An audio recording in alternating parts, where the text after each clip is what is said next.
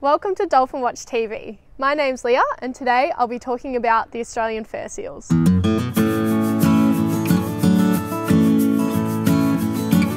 The Australian fur seal is a species of eared seals that we commonly see here in Port Phillip Bay. They generally haul out a Chinaman's hat, a structure purpose built for these Australian fur seals, although we do commonly see them swimming and rafting throughout the bay. We see and swim with these seals on every one of our tours here at Sea All Dolphin Swims, and it's always a fun and exciting time in the water.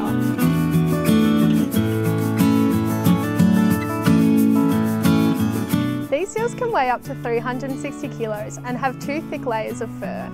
As they have such thick fur and blubber, they heat up very easily, especially during the warmer months. They thermoregulate to cool themselves down, and they do this by holding a fin out of the water and letting the wind pass over it. As this is the only part of their body without any fur, it cools down the blood in the fin, which they pump around to the rest of their body to lower their temperature.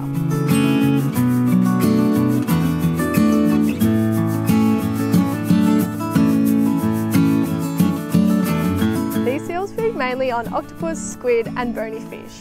However, they cannot digest the bones, so the bones will remain in their body until everything else has been digested. Then they vomit them up. The seals hauling out a Chinaman's hat are all generally males. They come from the breeding colony in Phillip Island, but may be too young, too old or too weak to compete against all the other males. This means they have no place in the breeding colony, so they head out and haul out to places like Chinaman's Hat. Seals will hang out, feed and play with their mates, all the while growing bigger and stronger before heading back to the breeding colony in Phillip Island. Thanks for listening and stay tuned for more.